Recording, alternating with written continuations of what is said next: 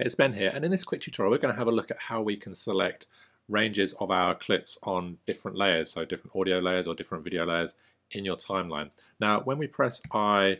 on the keyboard and then move to a different point and press O, it's going to mark an in and out point, but it's normally going to remain on the main storyline. Now if we hover over uh, some other clips here, I press I and O, you can see it's still actually applying that to the main storyline. Now the trick to kind of change this is if we tap R for the range tool and then hover over one of our connected clips, you can see I can select any one of my audio layers here. I can now select the range on that audio layer using I&O. So it's just jumping to that range selection tool that will allow you to be more specific about what you're selecting and which layer you're selecting things on. So just tap the R key um, and then you'll be able to select ranges using I&O on any layer in your timeline.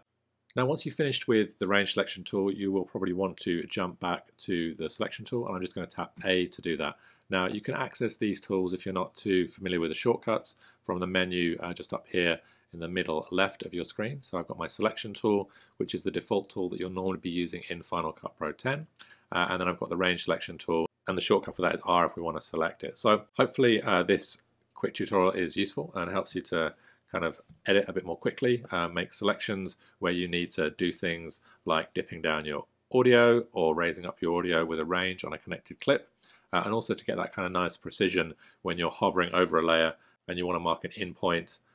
and then play through, mark an out point to make sure you're marking those in and out points in exactly the right spot. Now this question popped up on one of the Facebook groups. Do leave me any comments below if you have your own questions about Final Cut Pro 10 um, and I look forward to seeing you on the next tip or tutorial.